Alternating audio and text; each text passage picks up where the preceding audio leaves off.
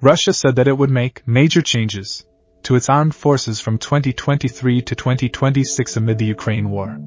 Only by strengthening the key structural components of the armed forces is it possible to guarantee the military security of the state and protect new entities and critical facilities of the Russian Federation. Russian Defense Minister Sergei Shoigu said.